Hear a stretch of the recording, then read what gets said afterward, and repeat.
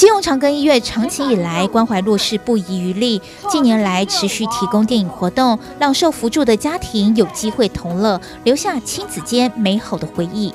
为什么会叫陪伴式的关怀？因为我们现在很多人就是缺少陪伴。那家福的孩子们除了没有多余的钱来看电影之外，也没有办法，家人一定要去工作，所以我们就想到用看电影，然后强制他们这两个小时的亲子关系哦。现在已经有很多人都会一家人带出来，尤其当我们看到阿公带着小朋友，或甚至还说哇，我已经四五十年没看过电影了。因此呢，这就是我们要做的陪伴式的关怀。Well, I do.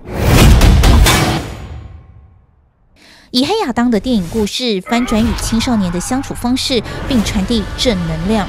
基隆刑大和少年队也寄出好礼，宣导防毒、防诈、防诈骗。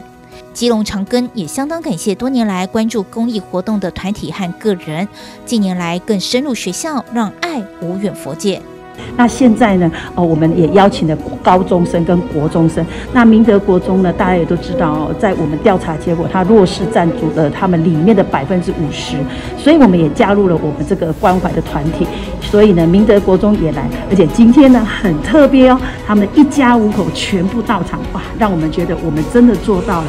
陪伴式的关怀的宣导种子呢，也散播出去。那接下来就是暖暖高中，还有明呃建德国中等等。我们希望大家跟我们一起加入关怀之外，也不要忘记自己的陪伴式的家人的亲子关系，以陪伴式的关怀一起守护孩子们的身心健康。透过共享电影，留下亲子间美好的回忆。